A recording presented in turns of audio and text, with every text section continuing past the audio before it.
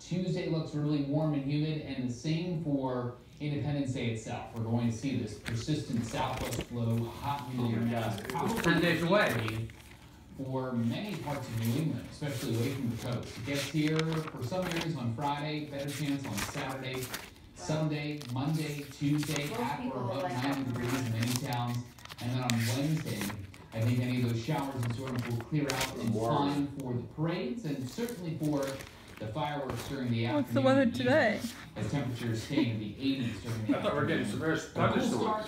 And we certainly do heat up. to honor That's it? Martin Luther King That's it. Jr. and his wife Coretta Scott King and the city where